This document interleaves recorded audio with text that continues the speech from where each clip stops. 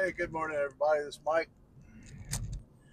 Getting started this morning, September 14th, I think, Wednesday. Uh, on my way to pick up a ride. want to talk a little bit about how much I make per mile. So I write down my mileage every day. Course, you calculate your gas mileage as well. But uh, I calculate how much I made for the day, including tips, and I divide it out uh, dollars per mile, and I come up with how much did I make per mile. And I thought I'd just let everybody know it kind of averages between 60 and 80 cents per mile with average tips. Now, sometimes you get a big tip, uh, 20, 30, I've had $100 tips and uh, that that can greatly increase your uh, dollar per mile. But the other thing is that you know you, you just try to avoid the long pickups because you don't get paid to try drive to pick somebody up.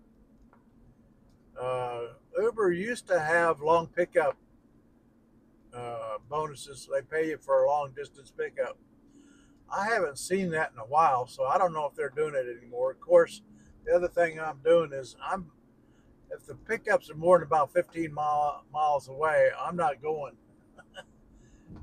I'm trying to get. I'm trying to maximize my dollars per mile. Now, you, you got to consider that's that's a net profit. That's not a gross. That's a net profit uh, dollars per mile. It has nothing to do with the gas cost of gas or anything else like that. Uh, I'm going to come up with a pretty good number on that here pretty soon. I'll let you know.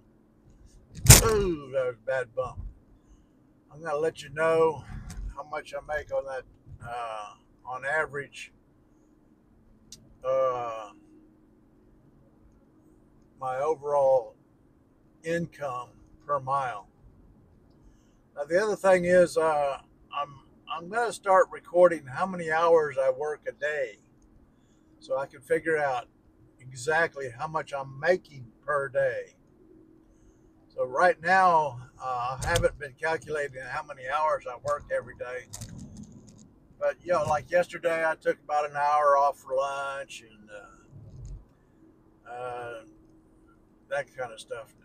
Now, if you're sitting and waiting for a ride, is that considered working? Well, it, it, to me, it is.